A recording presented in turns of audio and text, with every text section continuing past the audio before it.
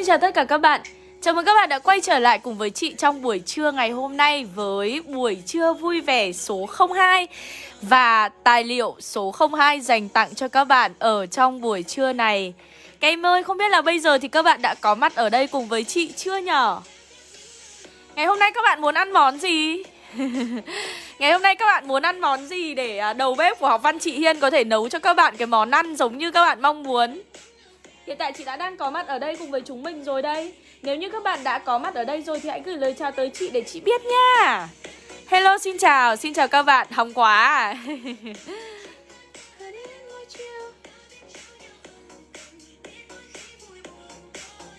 Đồng ý, đồng ý. Đang định ăn trưa thì chị lại like à? à Chị lại phát trực tiếp à? Thì đây, bây giờ mới bảo là là dành tặng những cái món ăn trưa cao lương mỹ vị cho các bạn đây Đúng không? Rồi ok đồng ý 300 bạn rồi. Chúng mình sẽ cùng đợi thêm một phút nữa Rồi bắt đầu luôn buổi trưa ngày hôm nay cùng với nhau nhá. Đồng ý không nào? Xin chào các em, xin chào, xin chào các bạn Xin chào các bạn. Nhanh quá, quá nhanh quá nguy hiểm. Các bạn đã nhớ về cái à, quy tắc để chúng mình có thể nhận được tài liệu tặng chưa?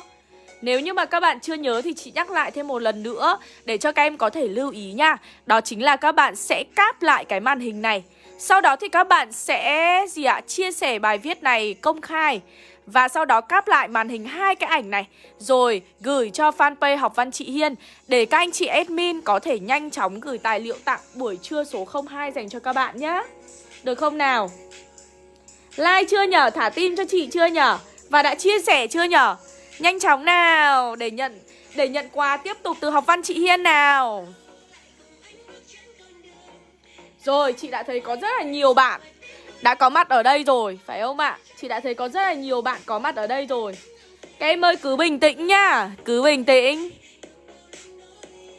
Anh biết nơi để quay về, Em biết nơi phải đi. Dọc đường để tránh cơn mưa. 400 bạn chúng mình sẽ bắt đầu. Bây giờ là 370 bạn rồi 400 bạn chúng mình sẽ bắt đầu luôn nhá. Nhanh chóng nhá Nhanh chóng chia sẻ phần phát trực tiếp này nhá Để có thể nhận tài liệu nhá Cứ bình tĩnh, nhở? Đâu khắc có đó? Thời gian để ta chuyên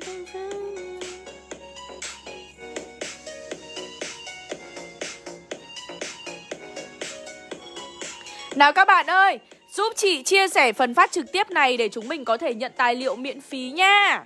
Đồng ý không nào? Ok, quay trở lại với buổi phát trực tiếp ngày hôm nay cùng với các bạn. Như chị đã nói thì chúng mình sẽ nhận được một cái tài liệu số 02 trong buổi trưa ngày hôm nay. Được không ạ? À? Trong buổi trưa ngày hôm nay Và chị mời các bạn cùng đến với vùng biển Xiêm Điền của tỉnh Thái Bình để cùng với nhau ngồi à, ngắm gì ạ? Ngắm một vùng biển vô cùng tươi đẹp để cùng với nhau thưởng thức hương vị của hải sản. Và ngày hôm nay chúng mình sẽ cùng với nhau tìm hiểu và tặng cho nhau một món ăn trưa cực kỳ đặc biệt, đó là sóng của Xuân Quỳnh. Các bạn thân mến, đã rất nhiều năm rồi Chúng ta vẫn đang chờ đợi một lần sóng của Xuân Quỳnh quay trở lại trong đề thi đại học. Được không ạ? À? Đã rất nhiều năm rồi, chúng ta đang chờ đợi sóng của Xuân Quỳnh quay trở lại trong đề thi đại học. Được không ạ? À? Và ngày hôm nay chị quay trở lại cùng với các em ở trong thi phẩm này. Được chưa nào? Ngày hôm nay chị quay trở lại cùng với các em ở trong thi phẩm này Sóng của nhà thơ Xuân Quỳnh. Dữ dội và dịu êm, ồn ào và lặng lẽ, sông không hiểu nổi mình, sóng tìm ra tận bể. Ôi con sóng ngày xưa và ngày sau vẫn thế, nỗi khát vọng tình yêu bồi hồi trong ngực trẻ. Trước muôn trùng sóng bể, em nghĩ về anh, em, em nghĩ về biển lớn, từ nơi nào sóng lên. Sóng bắt đầu từ gió, Gió bắt đầu từ đâu? Em cũng không biết nữa. Khi nào ta yêu nhau? Con sóng dưới lòng sâu, Con sóng trên mặt nước. Ôi, con sóng nhớ bờ, Ngày đêm không ngủ được. Lòng em nhớ đến anh, Cả trong mơ còn thức. Dẫu xuôi về phương Bắc, Dẫu ngược về phương Nam, Nơi nào em cũng nghĩ hướng về anh một phương. Ở ngoài kia đại dương Trăm ngàn con sóng đó Con nào chẳng tới bờ dù muôn vời cách chờ. Cuộc đời tuy dài thế Năm tháng vẫn đi qua Như biển kia dẫu rộng Mây vẫn bay về xa. Làm sao được tan ra Thành trăm con sóng nhỏ Giữa biển lớn tình yêu Để ngàn năm còn vỗ? Các bạn thân mến, có lẽ là đã rất lâu rồi thì các bạn không nghe lại thi phẩm này. Cũng đã rất lâu rồi chúng mình không một lần đọc lại bài sóng của Xuân Quỳnh Dù chúng mình biết rõ ràng một điều rằng là đã rất lâu rồi, Thì bài sóng chưa trở lại trong đề thi Trung học Phổ thông Quốc gia Năm nay vẫn sẽ tiếp tục là một năm chờ đợi, Chờ con sóng của Xuân Quỳnh xô vào bờ được không ạ? À? Để chúng ta viết lên những cái bài ca về tình yêu tuổi trẻ và gửi tặng cho nhau chứ Đúng không? Hãy nhớ về nguyên tắc, hãy nhớ về quy định để có thể nhận được tài liệu trong buổi trưa ngày hôm nay nhá. Trước tiên, nhanh chóng chia sẻ phần phát trực tiếp này, được không ạ? Cáp lại màn hình để cho biết rằng là các bạn đã lên và đang xem phần phát trực tiếp này cùng với chị. Được không nào? Sau đó thì các bạn sẽ gì nhỉ? À sau đó thì các bạn sẽ nhắn tin về là em đã thực hiện đủ các bước và nhận tài liệu miễn phí từ team học văn chị Hiên nhá. Một bộ tài liệu cực kỳ xịn sò về thi phẩm sóng của nhà thơ Xuân Quỳnh. Như chị đã nói cùng với các bạn, khi tìm hiểu về bất cứ một văn bản nào thì chúng mình sẽ cùng trọng tâm hai vấn đề, đúng không ạ? Cái thứ nhất, đó chính là tác giả. Một nhỏ. Tác giả Cụ thể ở đây, chúng ta có Xuân Quỳnh Được không nào? Cụ thể ở đây, chúng mình có Xuân Quỳnh Và bao giờ cũng thế, chắc chắn sẽ là một cái bộ từ khóa đi kèm với Xuân Quỳnh Ok chưa nào? Chắc chắn sẽ là một cái bộ từ khóa đi kèm với Xuân Quỳnh bao gồm Người phụ nữ sinh ra trong cuộc đời này để yêu và làm thơ.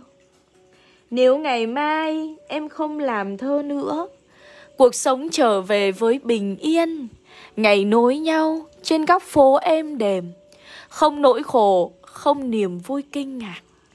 Đối với Xuân Quỳnh Còn sống là còn yêu Và còn sống là còn viết thơ. Có thể chính vì cái điều này mà bản thân Xuân Quỳnh tâm niệm rằng là gì ạ? Em trở về đúng nghĩa trái tim em là máu thịt đời thường ai chẳng có. Vẫn ngừng đập lúc cuộc đời không còn nữa nhưng biết yêu anh cả khi chết đi rồi. Được không ạ? À? Thứ nhất nhá, đây là ý số 1. Ý tiếp theo. Các bạn nhìn đây ạ, à, ý tiếp theo chúng mình có nhá. Thứ nhất là người phụ nữ sinh ra trong cuộc đời với sứ mệnh để yêu và làm thơ. Cái số 2, chúng ta thấy rằng đề tài mà Xuân Quỳnh thường theo đuổi đó là thơ viết cho thiếu nhi và thơ viết về đề tài tình yêu. Trời sinh ra trước nhất chỉ toàn là trẻ con, trên trái đất trụi trần không bóng cây ngọn cỏ, mắt trẻ con sáng lắm nhưng chưa thấy gì đâu, mặt trời mới nhô cao cho trẻ con nhìn rõ. Được không ạ? À? Trên đường hành quân xa, dừng chân bên xóm nhỏ, tiếng gà ai nhảy ổ cục cục tác cục ta, nghe sao động nắng trưa, nghe bàn chân đỡ mỏi, nghe gọi về tuổi thơ. Và những bài thơ viết về tình yêu nữa. Em sẽ kể anh nghe chuyện con thuyền và biển từ ngày nào chẳng biết thuyền nghe lời biển cơi, cánh hải âu sóng biếc đưa thuyền đi muôn nơi. Ok chưa ạ? Rất nhiều những bài thơ viết về tình yêu nhá. Tiếp tục này, chúng ta sẽ thấy Giọng thơ của Xuân Quỳnh Giọng thơ của Xuân Quỳnh Bất cứ khi nào cũng vậy Mang trong mình cái sự gần gũi Cái sự giản đơn Cái sự nhẹ nhàng Gần gũi Giản dị đôn hậu Và luôn chất chứa trong đó Những chăn trở âu lo. Được không ạ? À? Chất chứa những chăn trở âu lo thường trực. Được không nào? Chất chứa những chăn trở âu lo thường trực. Ok chưa nào? Đấy là về giọng thơ nhá. Đấy là về giọng thơ nhá. Thêm vào đấy các bạn cũng sẽ phải lưu ý giúp cho chị một điều, Đó chính là đối với Xuân Quỳnh ấy, Thì phong cách nghệ thuật mà Xuân Quỳnh lựa chọn Đôi khi bất tuân theo cả những quy luật của nghề thơ.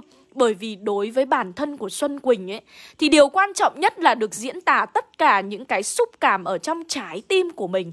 Đấy là điều quan trọng nhất được không ạ? À? Quan trọng nhất là được diễn tả tất cả những cảm xúc trong trái tim của mình Được không nào? Diễn tả những cảm xúc trong trái tim của mình Đồng ý không ạ? Và chúng ta thấy rằng Xuân Quỳnh là một trong số những nữ nhà thơ tiêu biểu của thơ ca kháng chiến chống Mỹ được không ạ? À? Một trong số những nhà thơ nữ tiêu biểu trưởng thành từ kháng chiến chống Mỹ Được chưa nào? Ok chưa? Đấy là về Xuân Quỳnh nhá Xong, chuyển sang phần 2 nhỏ Tác phẩm Được không nào? Đương nhiên ấy, là khi mà các bạn gặp chị trong khóa học 10 ngày, Thì chị sẽ còn nói với các em về rất nhiều những câu chuyện sẽ nói với các em về rất là nhiều những cái thông tin nữa mà chúng ta sẽ được bắt gặp ở nữ sĩ Xuân Quỳnh. Thế nên chị rất hy vọng có thể được gặp các bạn trong khóa học 10 ngày chạy văn cùng với chị Hiên nhá. Học vào tháng 6, một cái khóa học chốt để chuẩn bị đi thi. Nên bạn nào chưa tìm hiểu về thông tin của khóa học này thì hãy nhanh chóng nhắn tin cho admin fanpage học văn chị Hiên nhá để xem là nó có phù hợp với mình hay không. Nhưng mà chị nghĩ là nó sẽ phù hợp với tất cả các em thôi nhá, được chưa nào? Chúng mình sẽ có ở đây phần hai nhỏ, phần tác phẩm. Đương nhiên khi tìm hiểu về một tác phẩm, chúng ta sẽ tìm hiểu về hoàn cảnh sáng tác. Được không nào? Chúng mình sẽ cùng nhau tìm hiểu về hoàn cảnh sáng tác, hoàn cảnh ra đời nhá. Các bạn sẽ chú ý giúp cho chị một điều đó chính là hoàn cảnh sáng tác của tác phẩm này là vào năm 1967. Và đây là hai cái con số mà các bạn cần phải ghi nhớ giúp cho chị. Thứ nhất, bài thơ này được sáng tác vào một ngày cuối năm năm 1967 trong một chuyến đi thực tế ở vùng biển Diêm Điền của tỉnh Thái Bình. Được không ạ? À? Khi ấy Xuân Quỳnh đang ở độ tuổi 25. Và sau đó thì bài thơ này đã được in trong tập thơ Hoa dọc chiến hào xuất bản năm 1968 được coi là đóa hoa thơm hái dọc chiến hào. Ok chưa ạ? Đây là về hoàn cảnh sáng tác của bài thơ Sóng. Chị nghĩ là có thể là đã rất là nhiều bạn quên đi hoàn cảnh sáng tác của bài thơ Sóng rồi. Chị nghĩ là như vậy, Đúng không? Có rất là nhiều bạn đã quên đi hoàn cảnh sáng tác rồi, Nhưng ngày hôm nay chị nhắc lại cho các em. Bởi vì là Sóng là các bạn đã học từ học kỳ 1 rồi.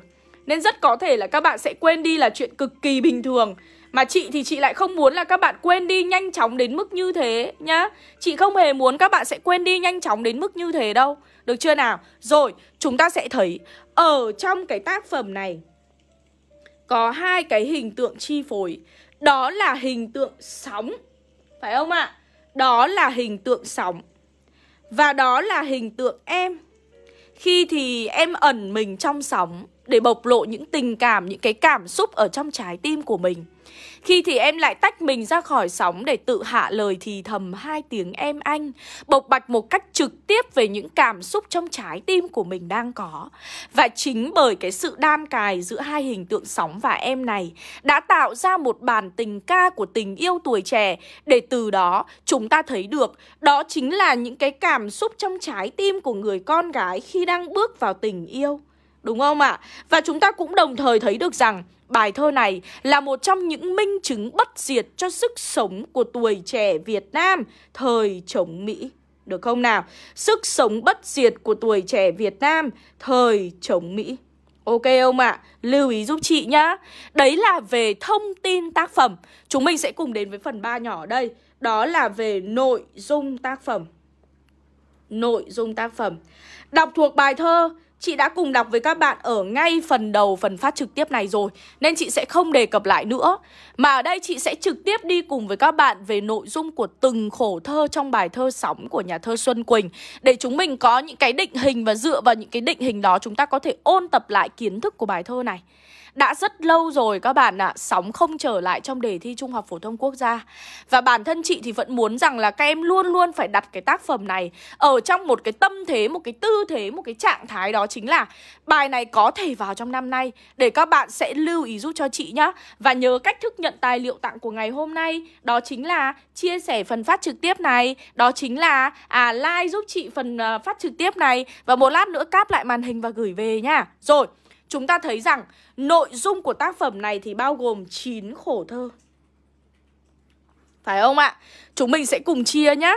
Khổ 1, khổ 2, khổ 3 cộng khổ 4, khổ 5, khổ 6, khổ 7, khổ 8 và khổ 9 ạ. Đây chính là bố cục mà chúng mình sẽ phải lưu tâm giúp cho chị nhá. Đây sẽ là bố cục mà chúng mình sẽ phải lưu tâm giúp cho chị này. Hết sức chú ý, hết sức chú ý ở đây nhá. Chúng ta sẽ có thứ nhất, khổ một. Nội dung là Là gì nhỉ? Thứ nhất, những trạng thái đối cực của con sóng Nhưng cũng chính là những trạng thái đối cực trong tình yêu. Và sau đó đã đưa ra một thông điệp mới mẻ trong tình yêu. Được không ạ? Thông điệp mới mẻ trong tình yêu.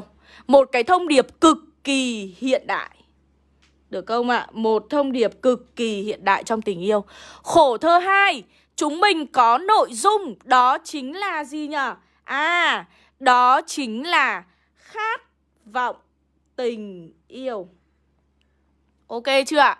Khổ thơ 3 và khổ thơ 4 Đó sẽ là cuộc truy tìm Và truy tìm ở đây là truy tìm căn nguyên của con sóng truy tìm căn nguyên truy tìm căn nguyên của sóng, nhưng cũng chính là truy tìm nguồn gốc cội nguồn của tình yêu. Ok chưa ạ? Được chưa nào? Khổ thơ số 5 viết về nỗi nhớ nhá. Khổ thơ thứ 6 là khát vọng thủy chung. Khổ thơ số 6 là khát vọng thủy chung. Ok chưa ạ? Khổ thơ số 7 là niềm tin vào tình yêu. Niềm tin vào tình yêu.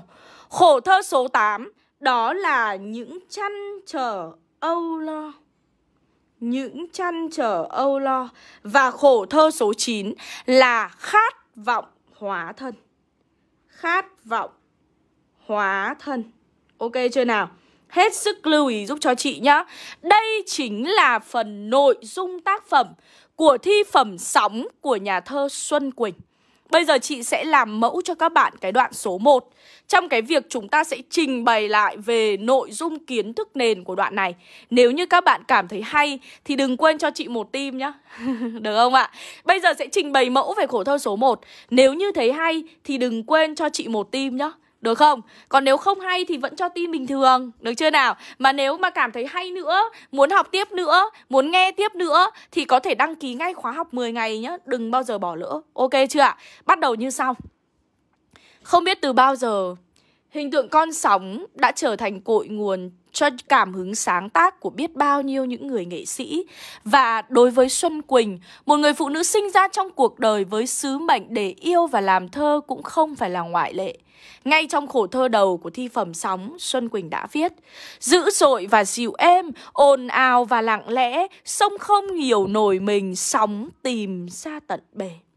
Xuân Quỳnh đã mở đầu bài thơ của mình bằng những hình ảnh đối lập, dữ dội, đối lập với dịu êm, ồn ào, đối lập với lặng lẽ. Và những trạng thái đối cực ấy chính là những trạng thái đối cực chúng ta thường nhìn thấy của con sóng ngoài đại dương. Chấm. Khi trời khi phong ba bão tố, sóng dữ dội ồn ào, khi trời yên bể lặng, sóng dịu êm lặng lẽ. Chúng ta có thể thấy bản thân Xuân Quỳnh đã rất tinh tế và khéo léo khi sử dụng từ kết nối và, quan hệ từ và để thể hiện mối quan hệ song hành rằng những trạng thái đối cực này luôn luôn đi cùng với nhau, không thể tách rời. Chấm. Được chưa ạ? Thế chúng mình sẽ thấy là đấy là cái ý đầu tiên chúng mình nói về về con sóng, những trạng thái đối cực của con sóng. Đấy là cái lớp nghĩa thực. Vậy cái lớp nghĩa biểu tượng bị ẩn sâu trong những ý thơ của Xuân Quỳnh là gì? Nói về những trạng thái đối cực của con sóng. Thế nhưng Xuân Quỳnh cũng muốn khẳng định với bạn đọc về những trạng thái đối lập trong tình yêu. Khi bước vào tình yêu, con người ta sẽ bắt gặp những trạng thái cảm xúc vô cùng diệu kỳ. Đó là vui, là buồn, là hạnh phúc, là khổ đau. Nhưng ý thơ chưa dừng lại ở đó. Có thể chính vì những cái cảm xúc đa dạng như thế Nên tình yêu chưa bao giờ bớt đi cái sự bí ẩn của mình. Đối với mỗi người, đặc biệt là những người trẻ Đây vẫn là một cái địa hạt bí ẩn Để mong muốn gì ạ? À, người trẻ mong muốn được khai phá và kiếm tìm. Chấm. Bên cạnh đấy chúng ta cũng thấy rằng những trạng thái đối cực này cũng chính là những trạng thái đối lập của người con gái khi bước vào tình yêu. Em bảo anh đi đi xanh không dừng lại? Em bảo anh đừng đợi xanh vội về ngay? Lời nói gió thoảng bay đôi mắt huyền đẫm lệ. Sao mà anh ngốc thế không nhìn vào mắt em? Sao mà anh ngốc thế không nhìn vào mắt sâu? Sao mà anh ngốc thế không nhìn vào mắt sầu? Bởi vì người con gái khi bước vào tình yêu, Vui ngay đấy nhưng cũng có thể buồn ngay đấy. Hạnh phúc ngay đấy nhưng cũng có thể hờn giận vô cớ ngay đấy đó là những cái trạng thái, những cái biến thiên cảm xúc cực kỳ là nghịch lý nhưng lại vô cùng hợp lý khi đặt để vào trong một cái địa hạt tình yêu thú vị và bí ẩn như vậy. Và ý thơ này thì vẫn chưa dừng lại. Sự đối lập mà chúng ta bắt gặp đó là cái mạnh mẽ độc lập ở bên ngoài và sự mềm yếu bên trong. Cái đó cũng rất phù hợp với sự đối lập bên trong và bên ngoài của người phụ nữ, của người con gái. Bên ngoài họ có thể là những cô gái rất tự tin và độc lập. Thế nhưng sâu thẳm bên trong tâm hồn của bất cứ một người phụ nữ nào thì họ vẫn thuộc về tâm hồn phái yếu mà thôi. Và họ vẫn cần một bàn tay, một trái tim để chở che và chăm sóc. Được không nào? Ok chưa ạ? Đấy chúng ta có thể phát triển theo cái ý đấy Thế thì đấy là hai câu đầu tiên Chúng mình sẽ có hai câu thơ tiếp là cái thông điệp tình yêu ấy Chúng mình triển khai Ok không? Nhá, đồng ý không nào? Rồi các bạn thân mến Bây giờ sẽ chỉ còn 2 phút đồng hồ nữa thôi Là chính thức sẽ có bài viết để nhận tài liệu đấy Nên các em phải ra vào page thường xuyên nhá Các em phải ra vào page thường xuyên hộ chị cái nhá Được không? Các em sẽ phải phải ra vào page thường xuyên cái nhá Đồng ý không nào? Học sóng xong ước gì có người yêu à? Thế à, chị rất là hy vọng có thể được gặp các bạn ở trong khóa học 10 ngày để chúng mình có thể tìm hiểu sâu và kỹ hơn nữa về bài thơ sóng của nhà thơ Xuân Quỳnh đấy. Thế nên nhất định phải tìm hiểu về khóa học này nhá. Đồng ý không nào? Còn buổi trưa ngày hôm nay chúng mình sẽ tạm thời dừng lại phần phát trực tiếp tại đây và chị hẹn gặp lại các bạn trong buổi trưa ngày mai vào lúc 11 giờ 30 với món ăn tiếp theo dành cho các bạn nhá. Còn bây giờ thì chúng mình sẽ phải nói lời tạm biệt với nhau thôi. Hẹn gặp lại các bạn vào buổi trưa ngày mai để tiếp tục nhận tài liệu và hướng dẫn chúng mình học thêm. Đừng quên thả tim cho chị Hiên và chia sẻ cho chị Hiên để chị có động lực tiếp tục cùng với các bạn nhá. Còn bây giờ thì xin chào và hẹn gặp lại nhé. Bye bye. Bye bye bye bye.